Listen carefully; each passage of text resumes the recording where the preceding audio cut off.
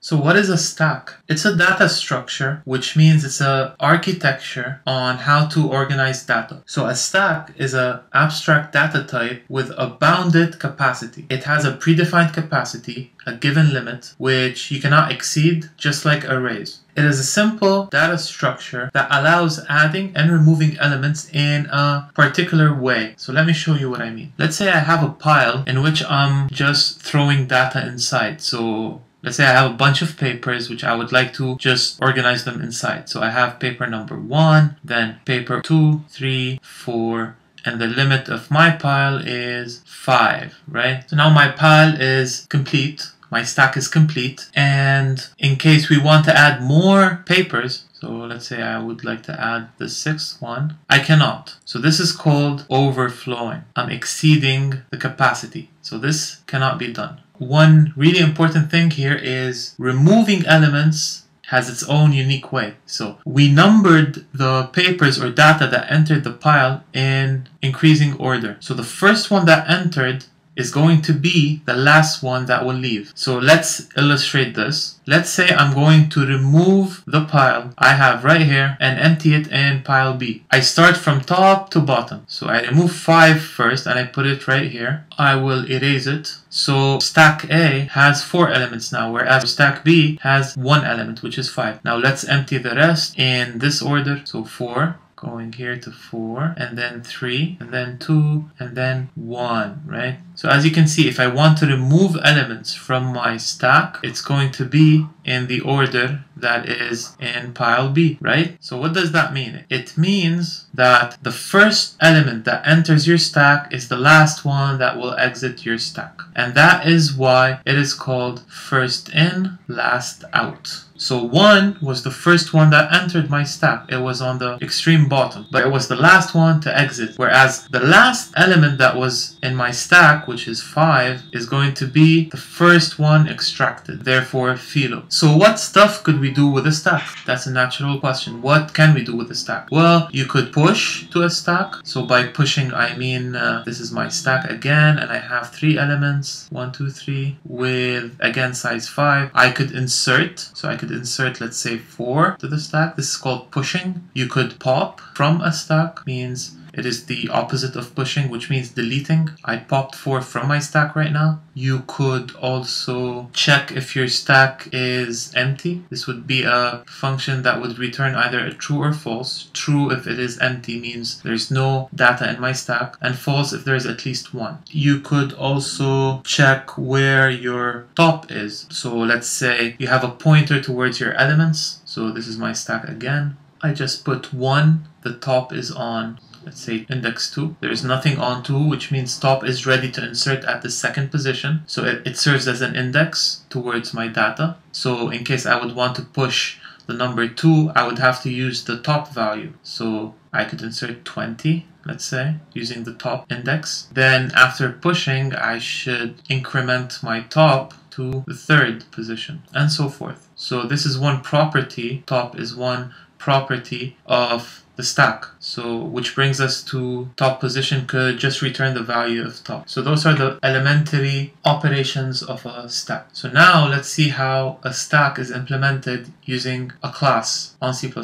So here we're using Visual Studio Code or VS Code and let's create a file called stacks using classes.cpp. So first things first, let's implement a class called stack as such and my main will go somewhere here. So I would have public properties. So what were the properties that we talked about? The first thing we have is top, right, which is an integer. It is an integer that points at the current empty index that is ready to be filled up, right? That's top. And you also need an array of some capacity, right? Some certain capacity. Now, as you can see, I have all red because I didn't define capacity. But capacity is a predefined constant, so let's put it right here. Define capacity as, let's say, 10. Okay, I want a pile which cannot exceed 10. So capacity is a constant, which is 10. And this array is of size 10. So that's all you need to define your stack. So you need a place to put your elements, which is the array A. You need an index to keep track of where your stack is. Now let's insert some methods, let's say a constructor, and then I would want to push, right? So push is pushing, void push. I would like to push a certain element, right? And I would also like to pop a certain element, void pop. Of course, we're not going to pass it anything because pop would pop the upper data, so we know what we need to pop. We can't pop anything in, in between. And let's say I would like to return the value that was just popped. So this is stack push pop and let's say I would like to have a boolean function to check if my stack is, you know, empty. And if you want int where is top, it returns the top value. Now since top is public, this makes no sense. right? So let me remove it because I ju could just access top from right here. So my stack dot top. Okay, let's run to make sure. Good. We have just written the skeleton of our class. Now let's fill in the methods. So starting off with the constructor. So what should be done upon constructing or instantiating an object of class stack? So the first thing you need to do is initialize top to minus one because at this current time the stack is empty. It has no data. So top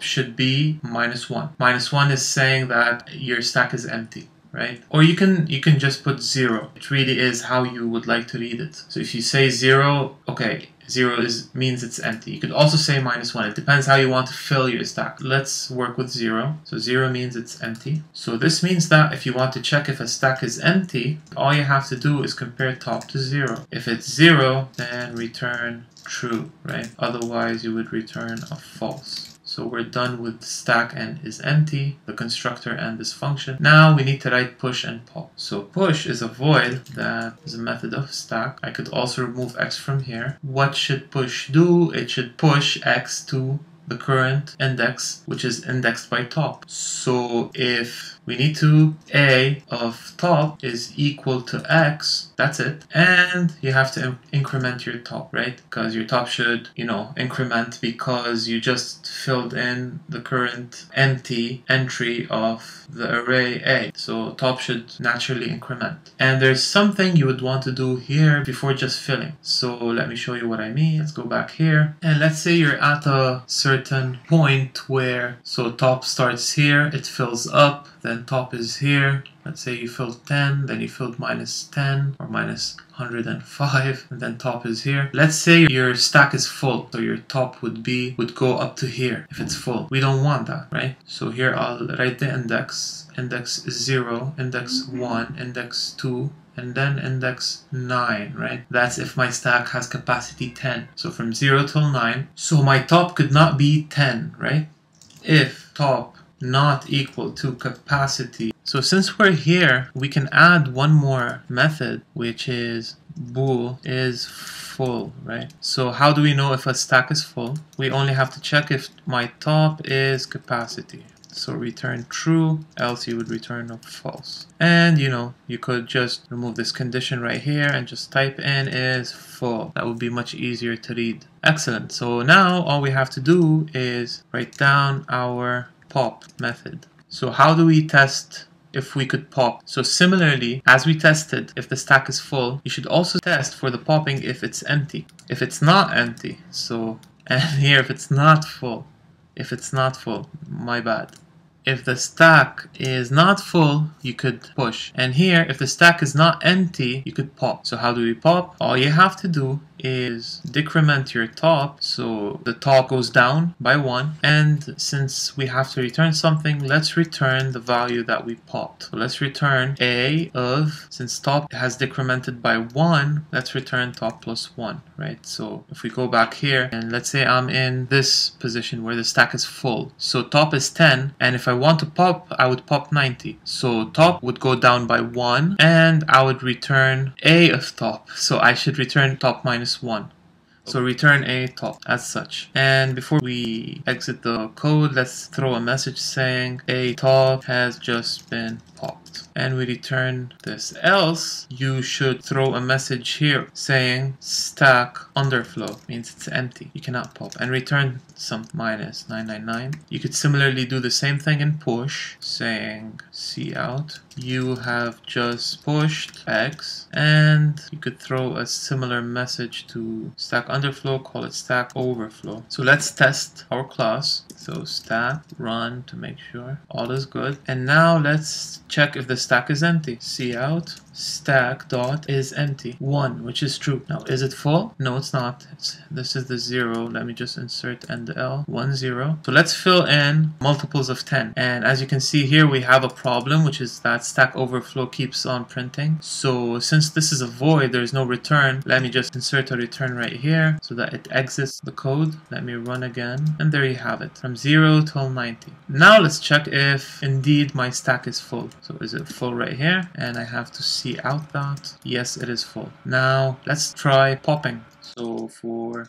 int i is equal to 0, let's pop out 5 elements. Stack dot pop. 90 has just been popped, 80 has just been popped, and so on. Let's pop out 8 elements. So the last element popped is 20. Let's pop 10 elements. Everything is popped. And now 11 should give you a stack underflow. And there you have it. Now let's check if my stack is empty. Stack is empty. And indeed my stack is empty. So this is ba basic implementation of a stack. Note that you could also implement stack using structures, linked lists, queues, and so forth. That's it for this lecture and I hope you enjoyed it.